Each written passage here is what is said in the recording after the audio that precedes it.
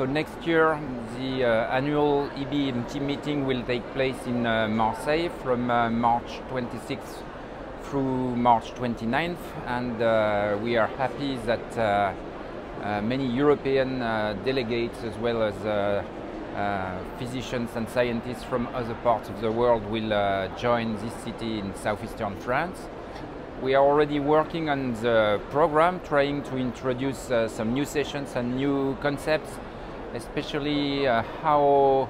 stem cell transplantation will be mixed and used together with other innovations, including cellular therapies, of course, but also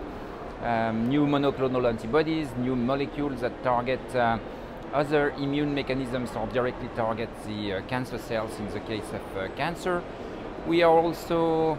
uh, trying to introduce new sessions dealing with the financial, ethical,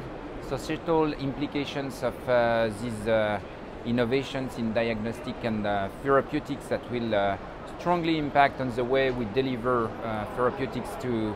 our patients. And hopefully we will maintain the friendly atmosphere and environment that has prevailed uh, over the last 40 years now uh, since EBMT was created and uh, hope that people will be, will be happy to be in Marseille.